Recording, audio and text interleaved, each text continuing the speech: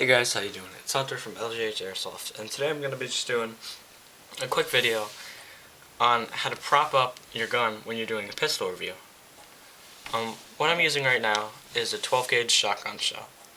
This is Blindside by Winchester, it really doesn't make a difference what kind of round it is, even though Blindside is very good.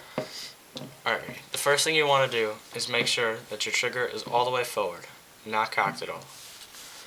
You want to slip the shotgun shell fully into the trigger, just in front of the trigger and obviously inside the trigger guard, and lay that down. Make sure nothing is sliding at all. This should successfully prop up your weapon and keep it set up for the whole video that you're making. Thanks for the views and thanks for the comments guys. Whoever subscribed to my channel, big thanks for that. We're hoping to get some new videos up, some shooting tests, and some unboxing videos. Um, other than that, I just want to thank you guys for watching. This is Hunter from LJH Airsoft, signing off.